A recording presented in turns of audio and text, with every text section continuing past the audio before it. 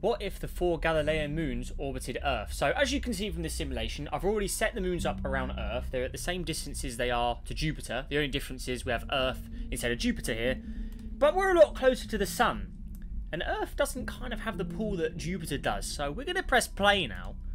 Going to speed up time slowly. We're going to see how long this lasts, if at all. So let's go ahead and speed up time. We can already see Callisto's orbit, Ganymede's orbit especially, are already starting to go out of place. Let's continue a little further in time. So we're travelling at two days a second here. And within days, as we can see, Callisto looks like it's going to be the first to go. May just break away and become a planet around the sun. Ganymede's already broken away first. Callisto's orbit is getting a bit tangled. Looks like it's going to slingshot around the Earth here just due to the position of where the moon was. It's going to sling past Earth, and as we can see, that's going to fly off again. My guess is it may just escape completely from that. We will see. Europa had an interaction with Callisto there. That's gone. Look at them. They're broken away. So Ganymede, Callisto, or Europa, they've both become planets around the sun pretty much at this point. It's only Callisto and Io left. Callisto with its very elongated orbit there, just hanging on in there. Let's go ahead and continue. If it swings by, it looks like Io may be the only uh, moon left at this point. As it is a similar mass to our own moon. Oh, no, and Callisto. It's just broken them both away. so that is it. So eventually, you know, they'll just break away completely, all of the moons.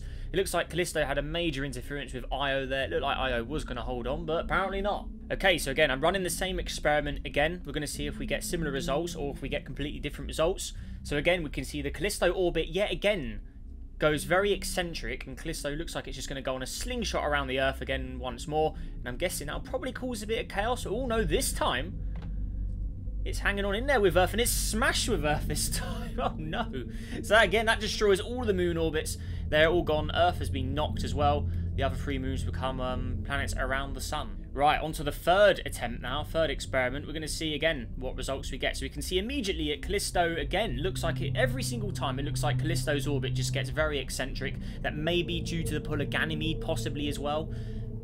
The Earth, of course, as well just is not having a good day with all these moon orbits just slinging around. So we can see the Ganymede and Callisto. Ganymede's broken away again. Callisto is heading on an inward spiral towards Earth again, going on that very rapid eccentric orbit. Looks like it has an interaction with Europa, possibly. No, not this time.